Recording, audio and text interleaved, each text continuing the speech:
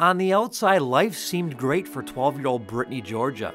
She was a middle school student with a loving family. Academically and socially, she excelled. But Brittany was not happy. She was suffering in silence. When I went through depression, I didn't tell anybody. I actually had a notepad on my phone and it was talking about my plans of ending my life. And I had a letter to every single person in my family and every single person that has touched my life in some sort of way, um, saying my goodbyes. And I had my funeral planned out and what I'd wanted, and I had everything arranged. I found a specific note that was titled Dreams. As I continued to read on, it was the description of what she wanted for a funeral and how she was leaving. And it was letters. And I remember reading the one that started off with Dear Mom. And she said, I want you to know that you could not have done anything to prevent this and that you were the greatest mom in the world to me. And I, sorry, I started to cry because I realized that this wasn't a dream.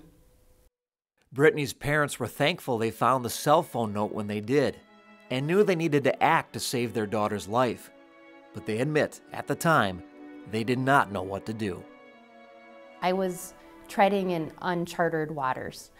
I didn't know how to get her to open up more about it, and I was so scared at that moment that I didn't want to say the wrong thing.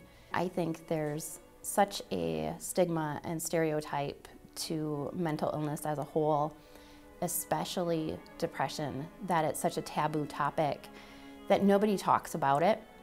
And so we didn't know who to turn to other than each other and um, call the doctor and you know call our counselor. And luckily we had a family counselor that we could bring her to. The worst feeling was being told oh how can you be sad? Like there's no way. Like you have a good life and everything. And it's yeah i have a good life but am i feeling okay? No i'm sad and i need help. It's it's not something that we can control and i think a lot of people do sweep it under the rug because they do have those stereotypes behind it and it's very hard to hear those because it's a feeling, it's an emotion, and it can happen to anybody.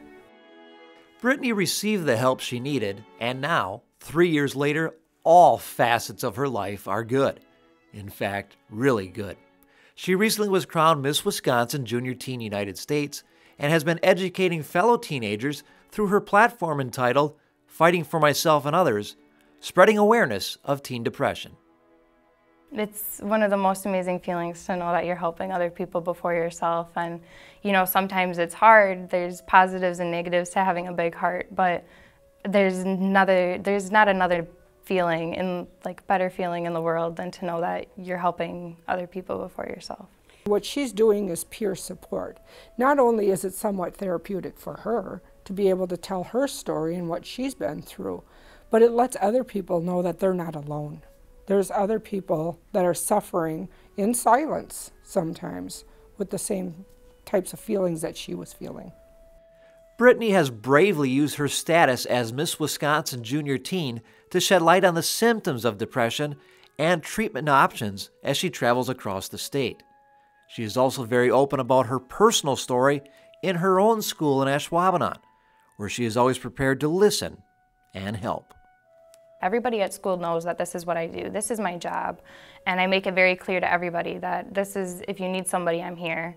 Um, a lot of teens don't have that at, in high school, not even in middle school. So as soon as we can, you know, put that resource out that you do have somebody and I'm the one, then the more help we can get. Um, NAMI, which is National Alliance on Mental Illness Organization, is a big part of my life. They have teen support groups and adult support groups and adolescent and peer support groups and school support groups and millions and millions of support groups that you can get help with and they're all just to basically tell you the same thing and you're not alone. You, you've never been alone.